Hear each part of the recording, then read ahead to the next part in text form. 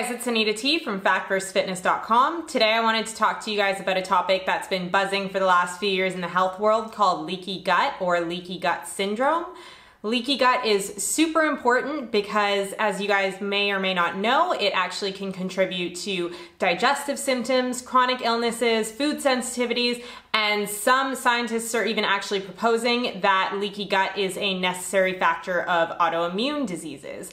So it's definitely a really important thing. And in fact, it's so important that I actually sat down and tried to write a single video on leaky gut. And the transcript was just so long that I actually decided to split this into a three part series. So this week we're going to be doing a video on Monday, Wednesday, and Friday. And today's video we'll be talking about what is leaky gut exactly. On Wednesday, I'm gonna be showing you guys some of the evidence on leaky gut and talking exactly about what scientists are saying. And then of course on Friday, I'm gonna air the video where we discuss some interventions to do with leaky gut, some things that you can do at home, dietary and lifestyle interventions, as well as some seemingly strange interventions that I bet you guys won't have heard of anywhere else, but they're all natural. And as always on my channel, everything is 100% scientifically backed. So let's get started. Okay guys, so to kick off part one of this three part series, I'm gonna be talking to you guys about what leaky gut exactly is. So that way most of you guys may have heard of the term before or just heard about it through the grapevine and not exactly understand what's going on. Or some of you may even think that you have it and just wanna understand exactly the biological things that are happening inside your body. So I'm gonna clear that up for you guys so that you fully understand exactly what leaky gut is. And by the end of this video, you guys will be nice and educated on it. As always, to give you guys a bit of scientific background, I'm just gonna explain to you guys how a normal functioning gut works so that you can understand where leaky gut is going wrong. Basically, when I'm referring to the gut here, I'm referring to the intestinal lining. So essentially the intestinal lining is so important because when you eat all of your foods, it goes through your intestines and the lining of your intestines is what separates the external environment from your internal biology. So basically the gut lining is what keeps chunks of pizza out of your bloodstream. So when you eat a whole bunch of pizza. It's, you know, the things that you do want are going into your body and the things that you don't want are staying out. And that is where the gut barrier separates and acts as that barrier. So of course it's keeping whole food particles and things like that out. However, the gut also wants to absorb certain things and take certain things into the body from what we eat. So for example, when we eat really nutritious foods, we want to absorb those nutrients and take those up and the gut is responsible for doing that. So how exactly is the gut able to keep all these things we don't want out and all these things we do want in our bodies? Well, the way it does that is by acting as something called a selectively permeable barrier. So permeability is essentially the gut's way of allowing things to cross over that gut barrier and selective permeability means that it's actually able to select certain things that it wants. So it can select to take up nutrients, it can select vitamins and minerals and take those across the gut barrier. However, it can keep out things like whole food particles, um, chemicals, pathogens, anything we really don't want, it can, you know, act as a block and say, no, you're not coming into our body, and then that can just exit and go on right through. The way that the gut is able to act as this selectively permeable barrier is through things called tight junctions. So all of your cells in that make up your gut lining, they are held together by things called tight junctions. So you can think of tight junctions like the glue that's holding your cells nice and close together.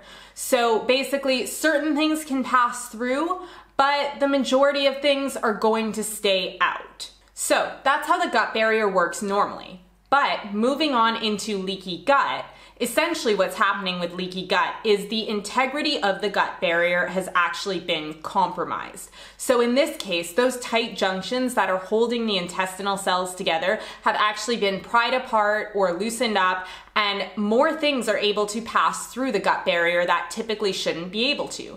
So all of those harmful things we were talking about earlier, you know, certain chemicals you don't want coming into your body, certain pathogens you don't want entering your body, um, whole food particles, things like that are actually now able to cross through those gaps into the bloodstream. So essentially, that's why it's called leaky gut, is because there's sort of these holes in your gut, is the way that you can think about it, and that's due to the prying apart of these tight junctions. What happens in this case is if things are crossing the gut barrier that shouldn't be, is the body recognizes these as foreign objects and foreign particles.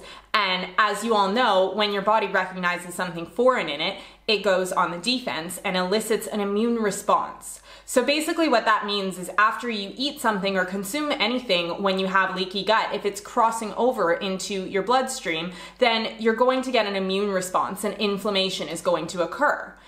This is why you might actually feel really poorly after certain meals. You may feel exhausted. Feeling a food coma after meals is actually a pretty good sign of inflammation.